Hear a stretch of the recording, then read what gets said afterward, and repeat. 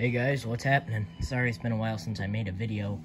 So, I gotta take the 318 for a little ride. Um, it's been about a week and a half since it's run.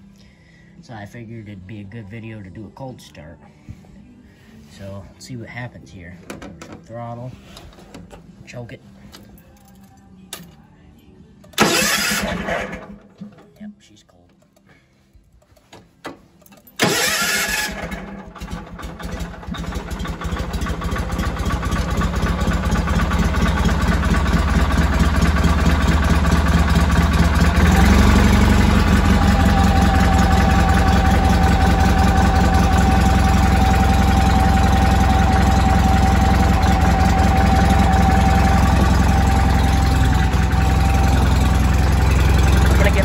rattle to let her warm